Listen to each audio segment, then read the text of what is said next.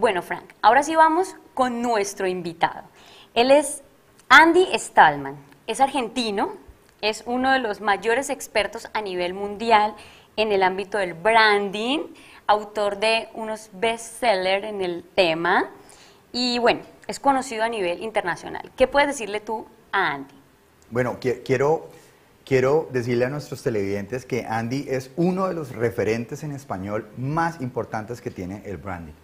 Yo me siento muy orgulloso de verdad de tener este espacio. Él es gran, un gran escritor, eh, Brand of On, Human of On y eh, Totem.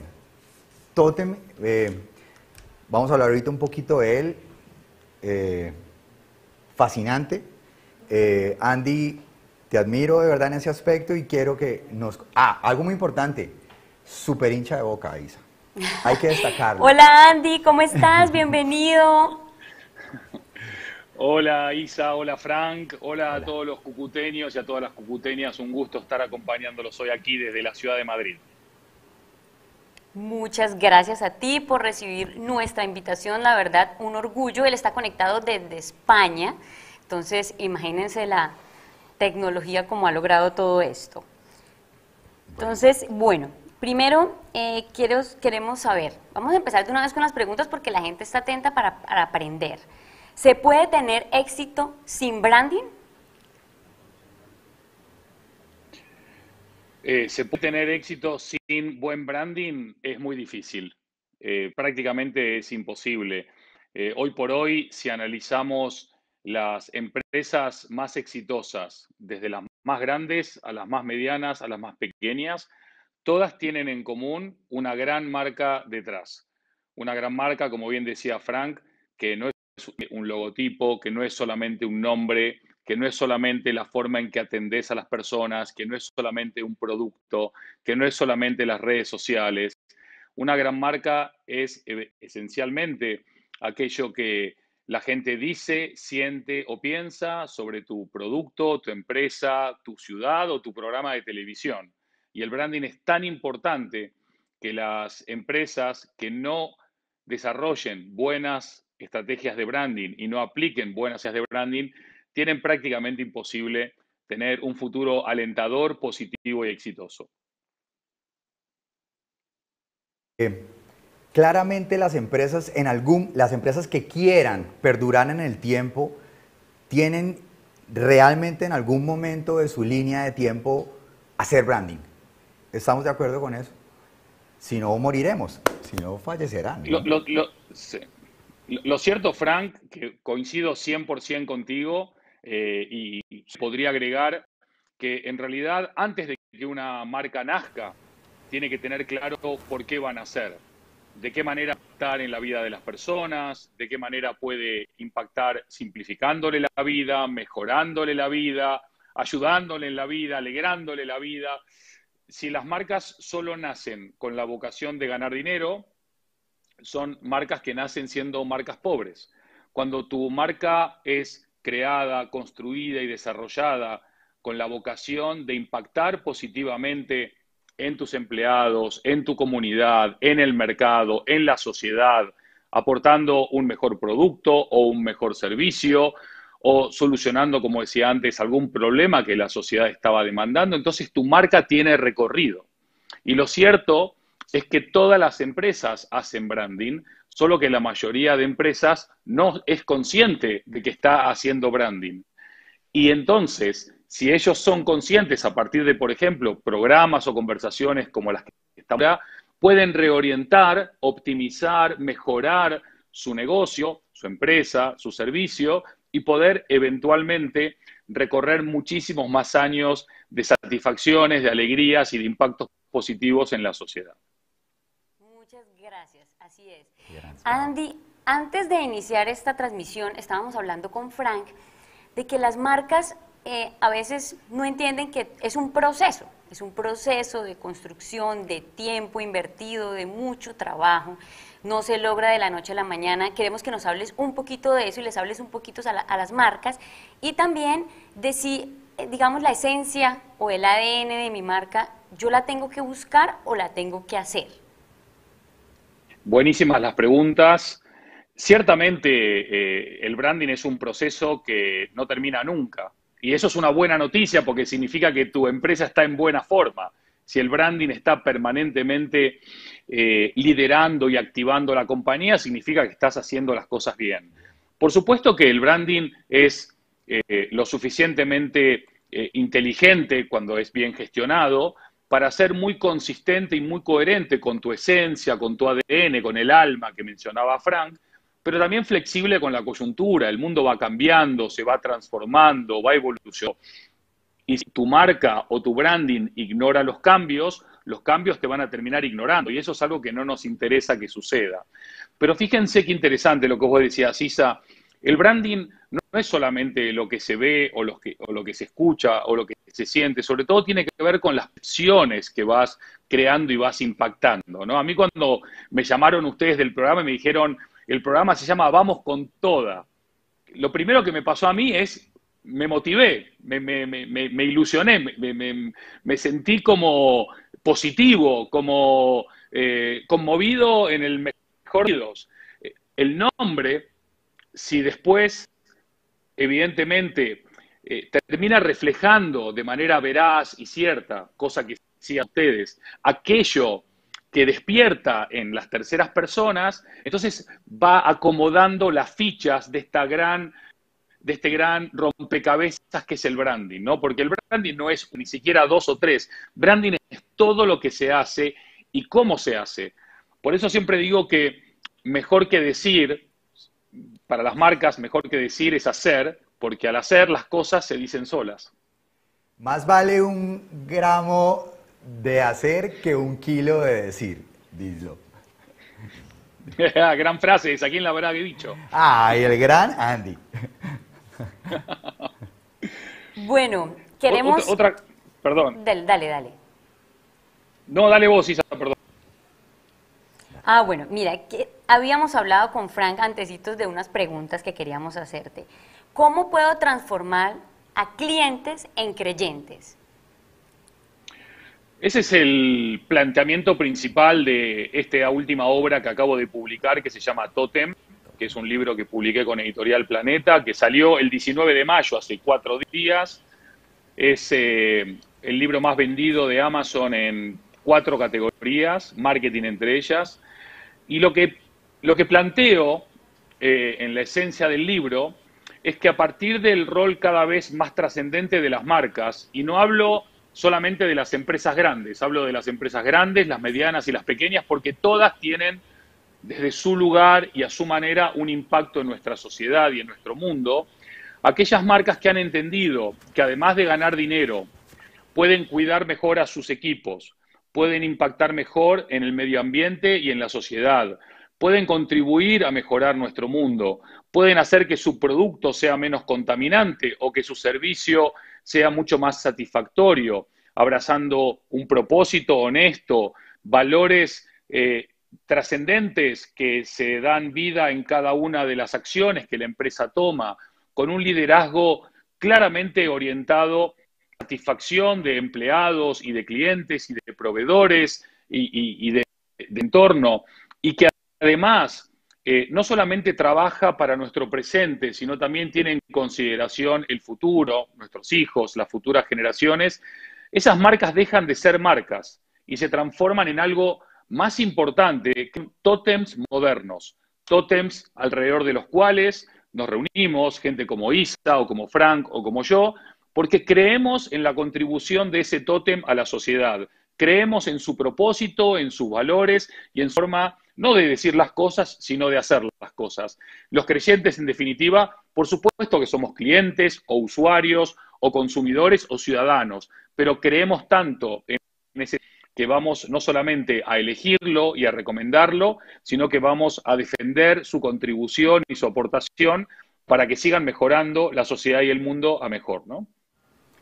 Muchas gracias. Eh, es unas, unas palabras que de verdad me, me, llenan de alegría porque yo siento que cuando uno hace branding, realmente lo que está haciendo con las empresas es provocando que dejen una huella, que la empresa piense en, en qué puedo yo como marca realmente entregarle a esas personas. Me, gusta que no se vea desde la óptica de lo económico, sino realmente uno crear algo para la sociedad. Yo digo, e, esto es lo bonito del branding, cuando uno empieza a mirar todas, todas esas líneas a, las que una empresa se puede, digamos, dirigir, cuando su intención es conectar, cuando su intención es, es sincera. Me gustaba mucho mm, mm, del libro que, digamos, se habla de que la empresa debe tener una comunicación sincera, uno tiene que ser real con el cliente, porque el cliente puede que te conecte contigo con algo que está convencido. Y si, y si cuando él recibe, digamos, esa conexión y, efectivamente eh, se hace un lazo como empresa con, con, ese usuario, con ese cliente, con ese creyente, es un lazo que dura y perdura a través del tiempo. Y lo bonito de este espacio, Andy, es que nos ven también muchas personas que tal vez hasta hace unos días la palabra branding era algo desconocido y, a veces todos estos tecnicismos le, tapan a la gente un, poco su visión de lo que realmente es. Y es el conjunto de acciones que las empresas y, las personas hacen, digamos, para reflejar sus propias, digamos, sus propios valores, lo que representan y, la voz de la marca. Yo quiero traer acá una frase que es la voz de la marca. Yo como marca, ¿cómo le hablo a mis clientes? ¿Quién soy yo? ¿Cuáles son, ¿Cuál es mi ADN? ¿Cuál es, cuál es mi energía? ¿Cómo, son, ¿Son adultos? ¿Son jóvenes? ¿Son niños? Yo, a quién le hablo? Entonces, Andy, me gustaría que por favor nos regalaras esos cinco tips básicos para cuando una empresa quiera tomar la decisión de hacer branding. Yo quiero iniciar, yo soy un empresario o soy un emprendedor y yo hasta hace dos días no sabía que era branding. Oiga, ¿cuáles serían esos cinco pasos que tú recomiendas para estas personas? Bueno, muy, buena reflexión, Frank, eh, acompañada de una excelente pregunta también. Eh, es verdad lo que decís, muchísimas personas, eh, gente incluso maneja empresas de un tamaño y una facturación y unos beneficios considerables todavía no tienen quizás el conocimiento o la conciencia lo suficientemente eh, eh, abiertas para saber la importancia de seguir una buena estrategia de branding, entendiéndola más como una inversión que como un gasto. Pero sobre estos cinco ámbitos que vos decías, una de las cosas que se dijo en la entrada del programa es, primero, la gente. Y yo voy a decir exactamente, primero la gente. No nos olvidemos que las marcas son personas, las empresas son personas y los clientes o los creyentes son personas. Con lo cual, lo primero para construir una eficaz y exitosa estrategia de marca es entender a las personas. Eso es lo primero. Eh, lo segundo también lo dijeron ustedes en la cortinilla, en la, entrada del programa, que es amor y amistad. Hoy por hoy estamos viviendo bajo la, la tiranía del like, ¿no? Eh, este, estos, eh, estos deditos para de los cuales somos un poco prisioneros, ¿no? Oye, si no me dan likes me agarra un poco de tristeza, si me dan muchos likes soy súper importante. Bueno, no termina ni el éxito ni, ni el fracaso de una empresa, pero no tener amor con tus empleados y no tener amor con tus creyentes sí determina el fracaso. Porque creer amor, y tú dijiste la palabra lazos, requiere de esos valores, de esa autenticidad, de confianza, una palabra súper importante, y sobre todo de la autenticidad entre lo que pienso, lo que soy, lo que digo y lo que hago, haciendo todo esto de manera coherente. El tercer punto importante, ya lo dijiste tú, es que eh, el alma de una compañía no es un logotipo o un producto. El alma es algo súper importante. El alma es cómo vivís, cómo comunicás, cómo atendés, cómo late tu corazón y cómo construís esto que para mí es fundamental, que es el punto cuatro, que es evolucionar de buscar transacciones a crear relaciones. Las transacciones están muy bien, pero si vos anteponés la idea de la transacción adelante de la relación, estás hablando de dinero y no estás hablando de personas. Y la última, creo que es eh, muy importante, es ¿qué es lo que te hace inimitable e inigualable? ¿Qué es aquello que tienes en tu forma de hacer, en tu forma de fabricar, en tu forma de atender, en tu forma de comunicar, en tu forma de empatizar, en tu forma de relacionarte, que te hace absolutamente diferente a los demás. Y esa propuesta de valor, bien construida y bien desarrollada, va a lograr que todo lo anterior sumado a esto haga que crees una gran... ¿Y qué es una gran marca? Es una gran promesa cumplida. Así que básicamente resumimos de manera muy apretadita estos cinco puntos muy, muy importantes que seguramente la mayoría de nuestros telespectadores lo estén haciendo, quizás sin saber que conectando todos estos puntos están haciendo una buena estrategia de marca. Muchísimas gracias, Andy. Me encanta esto que hablan de tener alma.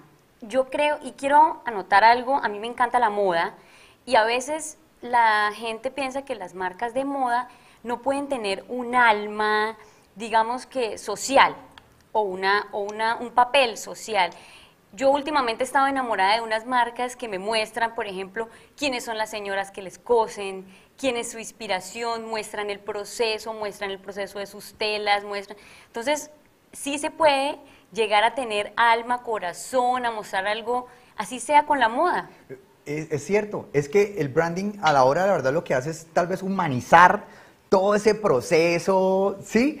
digamos, el, el, mercadeo digital ahorita es como algo muy crudo, él lo decía como, no es tan transac es muy transaccional, pero lo que hace el branding es realmente darle esa parte humana, que las empresas digan, oiga, piense quién es usted, para dónde va, quiénes son sus clientes, quiénes son sus, sus, sus compradores, y lo que hace el branding es eso, humanizar. Creo que es lo bonito, es lo que me encanta de esto, que no somos máquinas, no somos eh, entidades con fines de lucro realmente, sino que nos veamos como marcas que quieren trascender en el tiempo. Y cuando uno busca esa trascendencia en el tiempo, digamos que lo económico viene en, un, lado lateral. Y, sin duda a la par. Porque si, si tú vas construyendo marca y vas construyendo y vas construyendo, porque esto es día a día, esto es una curva ascendente y te tienes que adaptar y tienes que volver a entender al mercado. Hace, hace cinco meses digamos, esto no estaba en la cabeza de la gente con el poder que lo está haciendo ahorita. Y solo las marcas que en este momento se paren y digan, esta es mi realidad, ¿sí? Y analicen su situación y piensen cuál es la situación actual de ellos como empresa y de sus usuarios, de sus clientes. Hombre, para esto es el branding, humanizar las marcas. Andy, hay un concepto que tú eh, digamos que bautizaste, que es Brand of On. Yo quiero que nos hables un poco de eso, porque a veces, entonces ahora como todo es digital, entonces queremos todo, entonces todo en el on, en el on y en el off, ¿qué? O sea, ¿qué, qué pasa ahí con las marcas? Es una observación más que pertinente en estos tiempos que corren, en donde, fruto de la cuarentena, hemos tenido que digitalizar gran parte de nuestra vida. Lo que hemos aprendido a lo largo de los últimos 10, 12 años es que el ser humano ya aprendió a vivir entre dos mundos que son uno. El off y el on no son dos mundos diferentes. El, el off y el on, por eso yo escribo brandofón todo junto. Brando, entre el off y el on no hay diferencias, ni brechas, ni grietas, ni fronteras. El off y el on simplemente estos que se crearon en diferentes momentos de nuestra historia pero que ahora se retroalimentan, se necesitan, se complementan. Eh, un ejemplo muy sencillo sería, si yo busco la comodidad de una compra económica y rápida, puedo entrar en Internet y hacer esa compra económica y rápida. Pero es una experiencia inmersiva, memorable, una atención de una persona, vivir este, este acto antropológico de la compra, obviamente quiero ir al, espacio físico. Hay marcas que han nacido en el espacio online, que han migrado hacia offline. Hay marcas que han nacido en el offline, que se han expandido y extendido al online. Lo cierto es que si las marcas no están on más off, quedan out, quedan fuera. Porque tú, como o como cliente o como creyente, lo que quieres es hablar con tu marca o comprar el producto de esa marca o usar el servicio de esa marca. Y a ti lo que te interesa es utilizar el canal que en cada momento te venga mejor. A veces es el físico, a veces es el digital. Con lo cual las marcas tienen que aprender de qué va de elegir el offline por sobre el online o el online por sobre el offline. Acaba de entender qué tipo de propuesta de valor tengo, en qué canales tengo que estar, con qué tono de voz, cómo plasmo mi personalidad y para qué utilizo cada canal. Pero indudablemente es un debate que ya no puede seguir teniendo lugar en las empresas, porque si ignoras el off o el on, te quedas absolutamente out esta frase de el camino que iniciamos los locos es el que luego transitan los cuerdos. A mí me fascina, la traes mucho a colación. ¿Qué ha cambiado eh, en, estos, en este último año ese camino que iniciaste? ¿Y qué es ahora, Andy? Cuéntanos qué ha pasado en un año, porque me gustaría saber qué ha pasado con Andy en un año, con todo esto que ha ocurrido. Una de las cosas eh, increíbles que pasó es que este libro que vos mencionabas antes, que se llama Humanofón, que está por acá, creo que está por acá arriba, eh, Humanofón se publicó en el año 2016 y Humanofón planteaba cómo podíamos mantener humanos en una edad cada vez más automatizada y más digitalizada, cómo podíamos lidiar con una sociedad en donde la inteligencia artificial y los robots iban a ocupar nuestro puesto de trabajo, cómo íbamos a poder lidiar con la educación de nuestros hijos o con nuestros padres o abuelos en una sociedad donde eh, en vez de tener tener robots cuidándolos o iPads dando clases y una toda esta que se publicó en 2016 hoy es una realidad. Eh, y lo que me pasó en, este último año es que por un lado eh, me di cuenta de que el ser es muy lento a la hora de absorber el cambio. Sí es rápido en observarlo, pero es lento en absorberlo. Hay una diferencia entre observar y absorber. ¿sí? Aunque es un pequeño matiz gramatical, es una gran diferencia en, el concepto.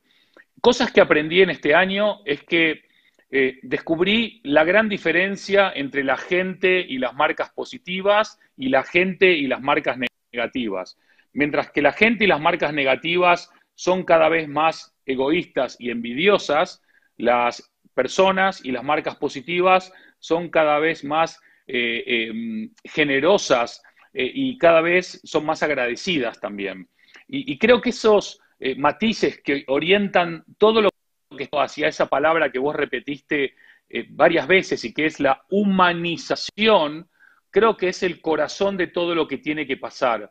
La tecnología está muy bien, nos permite, por ejemplo, estar teniendo esta, conversación, nos permite compartir contenido, nos, permite ver esta charla otro día en otras plataformas. La tecnología nos permite ahora mismo estar ayudando a gente en lugares eh, distintos, educar a distancia, que doctores que están trabajando en la vacuna puedan reunirse virtualmente y, y miles de etcéteras. Pero no nos olvidemos que la tecnología es una herramienta lo digital, herramienta. Acá lo importante es lo humano. Todo lo que hagamos que, que tenga al ser humano en el centro y en el foco de cualquier estrategia, de cualquier acción y de cualquier eh, eh, transformación, es todo aquello que ahora mismo estamos necesitando. Y el mundo de las marcas no solamente no es ajeno a esto, sino que tiene una altísima responsabilidad para ayudar a transformar el mundo a mejor. Genial, Andy, muchísimas gracias de verdad. Esperamos que todos estén aprovechando muchísimo esta información tan valiosa. Queremos saber ahora hablar un poco de las tendencias de los consumidores en esta temporada, en esta nueva actualidad. Excelente. Eh, nosotros con la empresa en la que trabajo, que se llama Totem Branding, es una compañía especializada en proyectos en los cinco continentes, eh, nosotros tenemos en nuestro propósito, por un lado, humanizar el mundo de las marcas y por el otro, crear, construir o transformar marcas que las personas. Entonces, como parte de nuestra contribución a la confusión general, eh, lo que hicimos fue un trabajo colaborativo con personas de los cinco continentes. 50% eh, de las personas eran hombres y 50% eran mujeres, 50% eran del hemisferio norte y 50% eran del hemisferio sur y prácticamente repartimos el resto de, los insights por continente.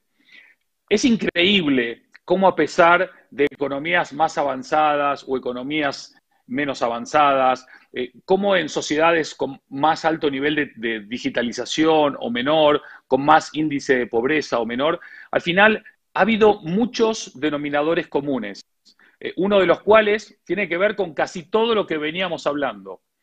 Eh, el efecto lupa.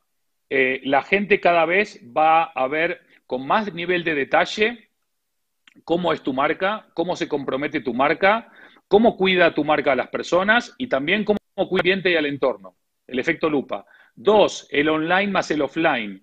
Por favor, bienvenidas las herramientas digitales, pero no nos olvidamos de la experiencia física y del trato personal. Tres, vamos a darle mucha más importancia a lo local que a lo global.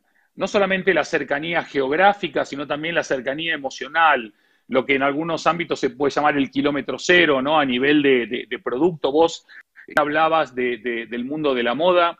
Eh, en general, la gente quiere saber de dónde viene el producto, quién lo ha manufacturado, eh, si se está explotando a jóvenes o si verdaderamente se está ayudando a que esa comunidad crezca y se desarrolle. O sea, no da lo mismo. Eh, se va a potenciar el tema de la economía circular para poder comprometernos de una manera activa con el medio ambiente, porque lo, de hecho, el virus no es que ha puesto la emergencia climática en esta emergencia climática, sigue ahí. No hay más que ver los incendios en California o lo que está pasando con los polos y otros tantos, etcétera.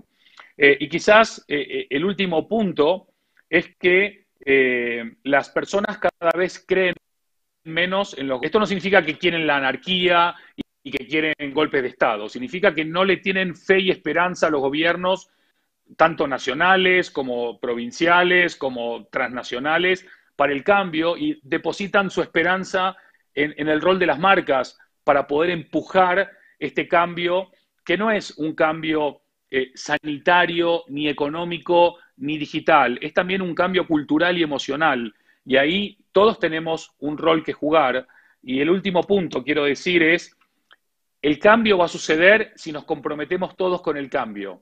No podemos hacer un outsourcing, una tercerización de la transformación social y emocional que todos anhelamos o demandamos. Porque la transformación nos requiere a todos y a cada uno de nosotros comprometidos desde la responsabilidad que cada uno asume en, este, en esta construcción del futuro al que nos dirigimos. Me parece súper importante y oportuno esto porque nosotros tenemos que entender que esta comunicación o este papel no es solo de las marcas, también es de nosotros como consumidores. ¿Cuáles marcas preferimos? ¿Cuáles productos nos gustan? ¿Qué, o sea, ¿qué es lo que elegimos en esas marcas? Y, y, y también cabe anotar que el mercado también va sufriendo eh, yo también digo que por la evolución también de las generaciones, ¿no? Ahorita, digamos, las nuevas generaciones un poco más naturalistas, más eco-friendly, o sea, ahí es donde vamos. y digamos, todo esto que está ocurriendo, yo tengo la sensación de que ha hecho que la, gente entre en un estado de, más, de mayor introspección, pero espiritual, de crecimiento, en donde están buscando tal vez ahorita muchas cosas. Eh, la ecología, lo autosostenible, los emprendimientos, el apoyo a esas pequeñas personas, a los artesanos, eh, hacer marca ciudad, digamos, eh, reconocer, por ejemplo, a los campesinos que están en el campo es importantísimo. Y esto, esto lo hace, esto lo hace, o sea, a mí me encanta el branding es porque definitivamente no va a cansar de decirlo, es la parte humana y sensible del mercadeo agresivo. Sí, es, es, es lo que significa esto. Eh, los que nos están viendo, eh, yo sé que han absorbido muchas cosas. Esto es un, espacio muy importante. Y lo primero que hay que hacer, Andy, para todos aquellos que no han iniciado con el branding y hoy dijeron, bueno, yo tengo una empresa, o yo tengo un emprendimiento, o voy a empezar una empresa, mi paso número uno, porque me lo dijo Andy, es, ¿cuál sería ese paso número uno, Andy, para que arranquemos con toda? Vamos con toda. Vamos con toda. Eh, el, paso número uno es preguntarte por qué querés crear esa empresa. Eh, si es solamente para ganar dinero, si es para mejorar tu entorno, ayudar a esas eh, comunidades indígenas, si es para crear o para solucionar una demanda insatisfecha, si es para solucionar un dolor en la sociedad, si es para simplificarle la vida a las personas, si vos tenés clara esa razón de tu existencia, entonces vamos con toda para adelante. Pero el ganar dinero es un resultado, no es eh, un destino. El destino tiene, el, viaje es lo importante, cómo construyes la marca, cómo construyes valor. Lo que ustedes decían recién que es súper importante, cuando yo elijo una marca, estoy dejando de elegir otra. Eh, por lo tanto, estoy premiando a una marca y estoy castigando a otra marca. Eh, la recompensa a la marca que elijo es porque esa marca me hizo sentir apreciado, me hizo sentir importante, me ha tratado de una manera especial y mi forma de recompensar esa marca es no solamente dándole mi atención, sino también dándole mi dinero. Eh, no nos olvidemos que estas marcas que nacen con un propósito más elevado que el de solamente ganar dinero, que piensan en el producto, en el planeta y sobre todo en las personas, eh, tienen una conciencia muy despierta del cambio no solamente del cambio actual, sino del cambio. Tienen un compromiso con ese propósito. Es un propósito que se vive, que se siente y que late en cada decisión. Y sobre todo han tenido eh, en esa visión que nuestra sociedad, como bien apuntaba Frank, transicionando de la estética a la ética, al love, al amor, y también del tener al ser. Cuando se entienden todos estos cambios, en definitiva, es cuando estás en disposición de crear una marca que seguramente va a tener un impacto muy relevante. ¿Y por qué es importante el branding y la marca? Se preguntan nuestros espectadores a la hora de crear una nueva empresa. Porque el branding es la principal diferencia entre ser reconocido o pasar inadvertido. Y si tú vas a crear una empresa para generar impacto positivo, lo que quieres es ser reconocido, no pasar inadvertido gracias, Andy. Yo hay algo importante que tú estabas diciendo, y es que en esta actualidad una pequeña empresa puede entrar fuerte a competir con una grande. Eso me parece súper importante y quisiera que habláramos un poquito de eso para los pequeños que nos ven. Sí, no nos olvidemos que, que el entramado económico, por ejemplo, en España, las pymes representan el 99,3% del entramado económico del país. Y me imagino que en Colombia debe rondar más o menos por esos números. Es decir, le debemos todo a nuestras pymes. Las grandes compañías, las grandes empresas son importantes, indudablemente, eh, estos grandes bancos, estas grandes empresas, pero en realidad la economía vive y late y sobre todo eh, eh, se mueve gracias a, las pymes. Yo uno de los mensajes que le diría a, todos aquellos que están con una micro pyme o con una eh, mediana o pequeña empresa, o incluso si están por emprender, que, nunca se olviden de este proverbio africano. Este proverbio africano dice algo así. Si crees que eres demasiado pequeño, si crees que eres demasiado pequeño para marcar la diferencia, es que nunca pasaste con un mosquito. Esto significa que todos y cada uno de nosotros en nuestra empresa, micro, pequeña o mediana, podemos generar un impacto positivo. Ahora mismo se ha aplanado el terreno de juego. Todos podemos generar impacto, todos podemos tener valores. No hace falta que todos pensemos lo mismo ni que todos reaccionemos igual, pero sí que tengamos en el corazón de nuestras decisiones cómo tratamos a nuestras personas dentro de nuestro equipo, llamémoslo empleados o socios o como quieras, y también cómo tratamos a las personas fuera de nuestro entorno porque esa va a ser la forma de construir marca. Y también ustedes hablaban de marca ciudad o de marca país. Una de las cosas fabulosas eh, que a mí me tocó vivir en mis más de 30 viajes a Colombia, tengo pendiente visitar eh, eh, Cúcuta y Santander porque no he tenido la suerte todavía, pero sí he visitado muchas veces muchas otras ciudades. Cada uno de los colombianos con los, con los que yo he interactuado son unos embajadores de Colombia increíbles. Todos tienen eh, una pasión, un compromiso, una educación, una sensibilidad, una empatía que en lugar del mundo eh, eh, sería diploma de honor como reconocimiento. Para ustedes es algo natural, es innato, está en vuestro ADN. parte del alma de, vuestro país. Trasladar eso a cada una de las empresas, más allá de su tamaño, es indudablemente eh, una apuesta ganadora de presente y de futuro. Muchas gracias, Andy. Estoy muy de acuerdo con todo lo que has dicho y me parece supremamente pertinente. Eres, eh, eh, Isabel, él es un gran orador y yo quisiera, antes de cerrar, Andy, que le dejaras un mensaje a todos esos pequeños emprendedores que en este momento están en la pandemia preguntándose cómo voy a hacer de ahora en adelante. Entonces, un mensaje para todos aquellos que lo están viendo en ese momento de Andy Stallman. Vamos con toda. Vamos con. Eh, vamos a hacer eh, un, cierre muy realista. Lo que está pasando ahora eh, tiene una forma de ser vista muy triste. Hemos perdido gente querida, hay gente querida en los hospitales, la economía se ha visto supremamente perjudicada. Pero también estos golpes que la humanidad ha recibido a lo largo de su historia han golpes para aprovecharlos, no para desaprovecharlos. Son golpes para abrazar el cambio, son golpes para aprovechar la transformación, son golpes para tener una mirada positiva y poder transformar los problemas en oportunidades, para cambiar la mirada, para poder mirar nuevamente qué tipo de propuesta de valor yo tenía y si aquella propuesta de valor que tenía sigue vigente o tengo que cambiarla. Es un golpe para decir, pude ignorar tanto a la tecnología si la tecnología me puede ayudar mucho en mi negocio es un golpe para despertar también de que no podemos seguir solamente el modelo de competir con mi vecino o con, mi comunidad. Tenemos que también colaborar, cooperar, co-crear.